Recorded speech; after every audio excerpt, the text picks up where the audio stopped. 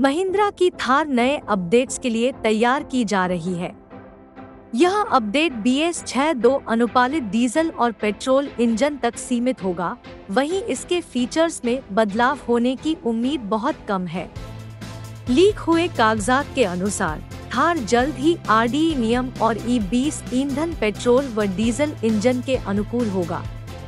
इस समय इस गाड़ी के चार एक्स चार वर्जन में दो डॉट दो लीटर डीजल और दो डॉट शून्य लीटर पेट्रोल इंजन है।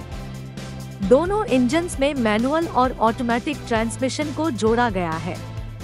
इसमें एक्सयूवी 300 सोर्स का आर इंजन होगा, जो 117 bhp का पावर और 300 nm का टॉप जनरेट करता है। थार के अलावा महिंद्रा अपनी दूसरी एसयूवीज जैसे XUV 300, XUV 700, Scorpio Bolero Bolero Neo और मराजो एमपीवी को नए इमिशन नियम बी एस छह दो के अनुरूप तैयार कर रही है। बता दें कि महिंद्रा ने इस महीने की शुरुआत में आर वर्जन के एलेक्स डीजल मैनुअल की कीमत में पचास हज़ार रूपए तक की बढ़ोतरी की है। इस नए अपडेट के चलते दूसरे वेरिएंट्स दस हज़ार से तीस हज़ार रूपए तक महँगे हो सकते हैं।